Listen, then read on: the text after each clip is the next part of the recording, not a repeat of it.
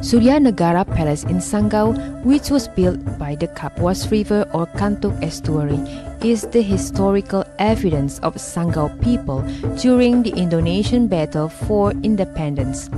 Sanggau Palace had relationship with other palaces in West Kalimantan. Sanggau Palace is the founder of Sanggau governance.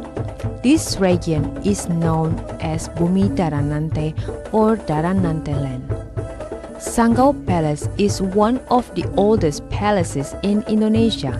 It is about 7 years old now, which was built by Daranante Princess and Babai Tinga in 13th century. Suryanagara Palace is now one of the Sanggau region culture preserved based on the regulation number 5 year 1992 and this palace had been renovated during 2001 and 2002. In one of the legends, it is said that Daranante princess was not a native of Sanggau, but she is from Sukadana, the daughter of Panembahan Kalahirang, who was the son of Jaya king from Java, who married the Sukadana kingdom's princess and established Sukadana kingdom. Daranante princess got married with Babai Tinga, a man from Sisang Hulu Sekayam ethnic one of the sub-Dayak ethnics.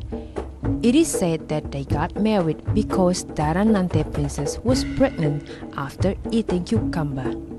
The fortune teller told the princess that her husband was at the upper course of Kapuas River, where Babai Tinga was isolated caused by his disease, leprosy. After the marriage, Daranante princess and Babai established a kingdom in Mengkiang. This Mengkiang palace was the founder of Sanggau kingdom.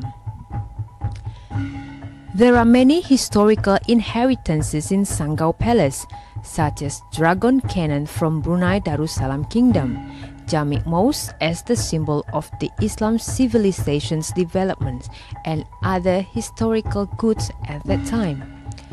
They also say that there is one historical inheritance which has not been found as it is in Pancur Aji area and it is Bujang Malaka cannon. This cannon was used to expel the enemies at that time.